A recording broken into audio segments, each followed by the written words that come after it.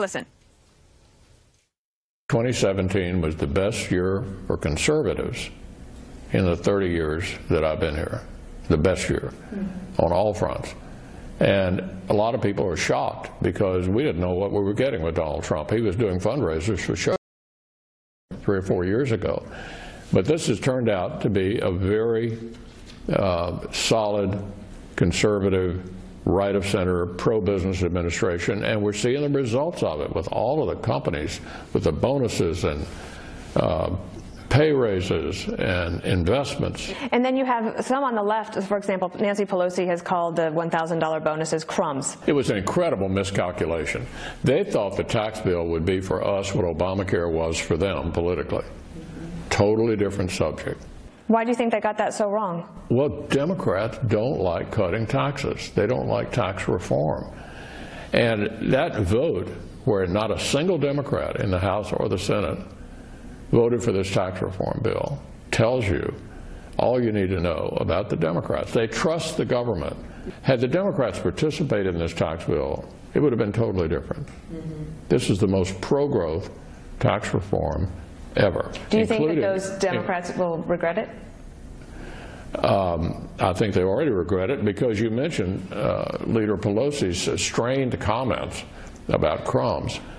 What a bizarre observation because to a lot of middle class people, uh, it's, it's, a significant amount of money that they're going to begin to see in their paychecks beginning in, in the middle of February terms of the legislative calendar going forward, conventional wisdom is that the two big issues that could have a big chance of passing this year are immigration and infrastructure. Is that how you see it? Yeah, we now have a 51-49 majority, very close.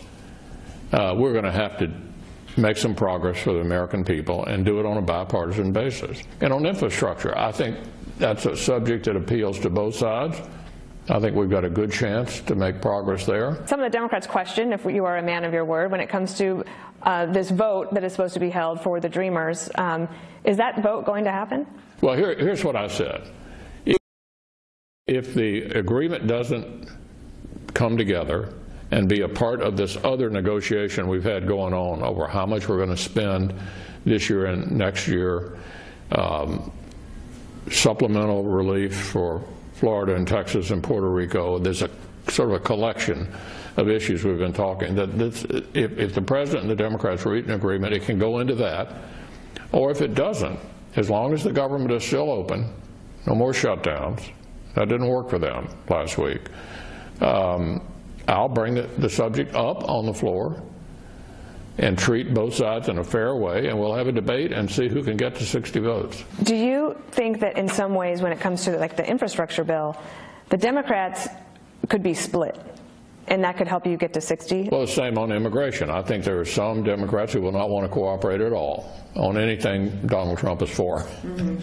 uh, and that may be true on infrastructure.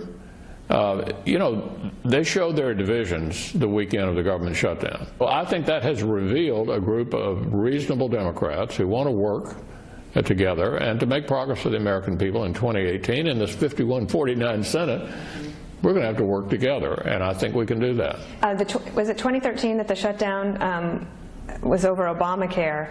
And Didn't work for us, did it? No, it's almost a mirror image. yeah, they adopted a tactic that we had tried on several occasions, and it never worked for us, us being Republicans. Mm -hmm. uh, they decided to try it themselves, and it didn't work for them. I think it's clear the American people do not like shutting down the government, period, no matter who does it. Do you think there will be another CR, or that we'll be able to pass the budget? Well, we're still trying to figure out the way to fund the government in a more comprehensive way than passing continuing resolutions, and I hope.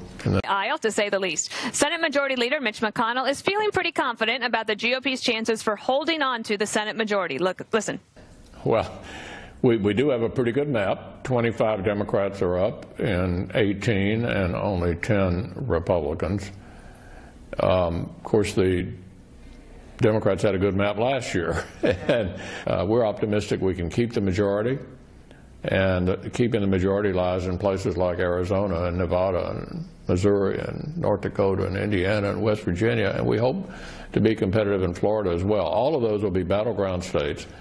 Uh, if we, you know, hold Arizona and Nevada and pick up some of these others, we'll have a a majority for two more years. Do you think you almost have a candidate in North Dakota to run? Yeah, we're going to have a candidate. That's a very winnable race.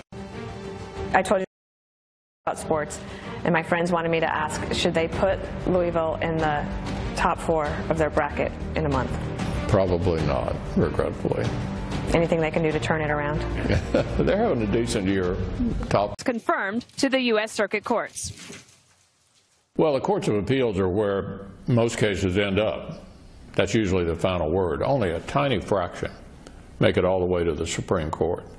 So the circuit courts are enormously important.